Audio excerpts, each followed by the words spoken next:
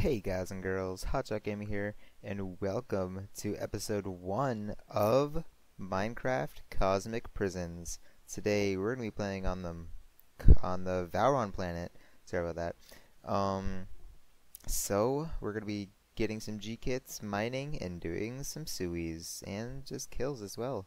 So, I hope you guys enjoy this. Let's do it.